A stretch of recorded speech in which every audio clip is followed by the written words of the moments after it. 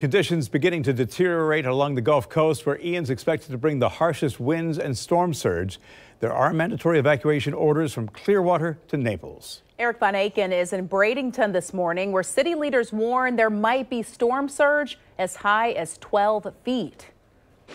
Here in downtown Bradenton, we're getting a taste of what is yet to come. The rain has picked up and the wind is now steady. The big worry, though, is storm surge. We're not seeing any indication of that yet.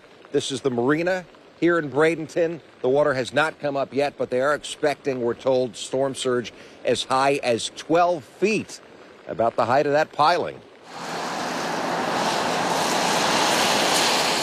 After 8 p.m., police let no one onto the barrier islands. The people who'd chosen to stay were already here, but emergency managers had asked everybody to leave on the beach side and along the intracoastal from Naples and Collier County up to the Tampa Bay area in Hillsborough.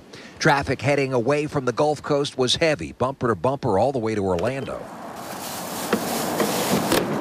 Gas ran out quickly with so many people looking to leave. Hey, if we can't find gas anywhere, man even after some stations ordered extra deliveries. We ran out twice already. We ran out yesterday.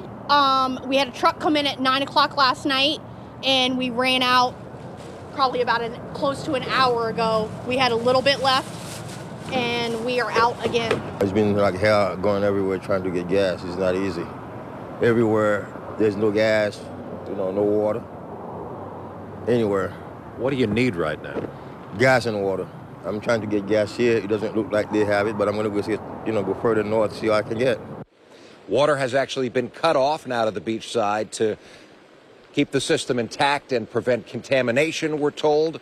Boat owners had tried at least as much as possible to tie their boats down, but of course, with storm surge as high as 12 feet, there's only so much you can do.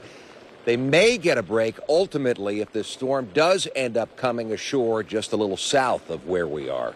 In Manatee County, Erik von Ancken, Channel 4, the local station.